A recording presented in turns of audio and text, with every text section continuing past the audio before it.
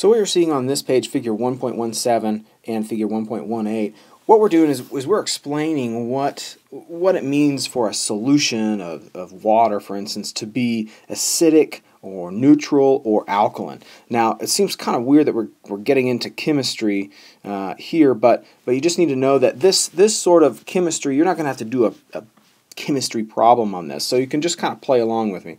Um, this sort of chemistry becomes really important later on when we talk about pH and when we talk about how soils act and how cl what clays do in soils and organic matter does in soils and what's the difference between a soil with a pH of 8 versus a soil with a pH of 4. So we're just going to introduce this to you now. We'll get into uh, more about pH later. So you'll see in figure 1.17 that if we have an acidic solution, we have a lot of hydrogen. That's hydrogen right there. A lot of hydrogen ions. They're positively charged. And we don't have a lot of these OH ions, or yeah, OH ions that are called hydroxyl ions. But when we get to a, a, neutral solution like this right here, when we have a pH of 7 uh, in, in any kind of solution, and it turns out that what we're really concerned about is the water that uh, is in the soil, that is almost always in the soil. There's water there, and we, are concerned about what the pH of that, so, of that soil water, soil solution is.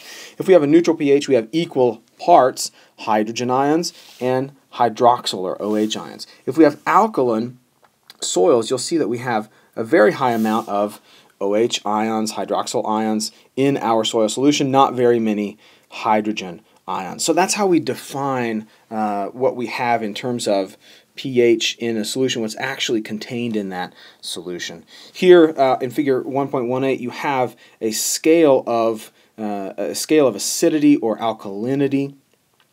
Uh, and, and just note that when we are on this side of the scale, and I'm going to connect these two here, we're on that we're on the left side of that scale. So if we have a pH of 4 in our soil, that's very, very acidic, uh, and it's very difficult for things to grow uh, often in those kinds of soils. Only particular plants can withstand that. But when we have this low pH here, what we actually have is a bunch of hydrogen in that soil solution. Same thing over here. When we have a high pH solution, a pH of 9 for instance, which isn't uncommon in the, in the uh, west and northwest, when we have a high pH, and even the desert regions for that matter, uh, we have a high pH, we have lots of those hydroxyl ions. So that's how we, we uh, kind of get our minds around acidity and alkalinity and what is, uh, what is neutral. You can see the range that's common uh, for most soils. See that here.